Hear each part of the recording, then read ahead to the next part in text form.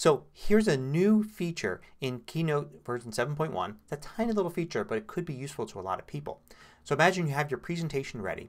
Your Mac is hooked up to a projector and the lights are turned off in the room. You're going to make your presentation. So you start. You do play slideshow and the slides are projected onto the screen behind you in the dark room. On your Mac though you see the presentation screen. The, the, your current slide, your next slide, your notes, maybe the time. There's all sorts of other things you can display here.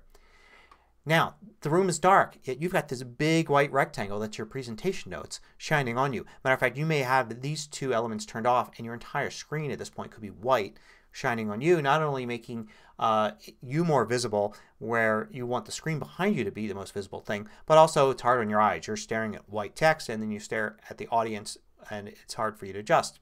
Well there's a new little feature here called invert colors. Just click that inside of the notes and now that has white text on a black background.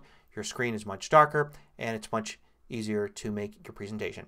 Just a tiny little feature but it's very easy to use and uh, I know it will be very useful for a lot of people. You also have the ability to change the size of the text in your notes there to make it a little easier to read. Um, so take a look at that if you're used to presenting to people uh, in a dark room or even um, in a you know regular a room with regular light may be a lot easier for you to read the text if it's white on a black background in Keynote.